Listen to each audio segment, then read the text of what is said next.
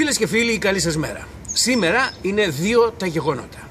Το ένα ότι το Eurogroup είπε ναι. Θα έρθει λοιπόν εδώ η Τρόικα, οι θεσμοί ρε παιδιά, εντάξει, λάθος έκανα. Θα μιλήσουν, πότε έρχεται, την καθαρά Δευτέρα.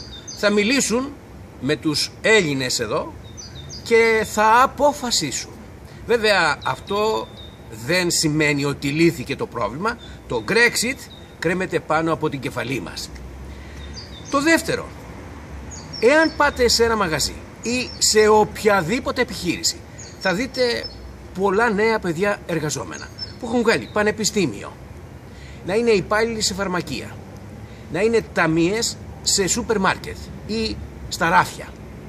Θα δείτε παιδιά που έχουν βγάλει όχι μόνο πανεπιστήμια, αλλά που έχουν κάνει και διδακτορικά να είναι υπάλληλοι σε καφετέριες. Και όλα αυτά, όχι, όχι, όχι, να είναι μέσα στις καταστάσεις των πληρωμών, αλλά μαύρη εργασία. Ναι, τετράωρο, 200 ευρώ στα παιδάκια, άντε 400, εγώ πιστεύω 200 τους δίνουν και από εκεί και μετά όλα τα άλλα πάνε και έρχονται. Τι σημαίνει αυτό, σημαίνει ότι το κράτος με τα μπλοκάκια που τα κατήργησαν όλοι οι άλλοι χάνει πολλά έσοδα.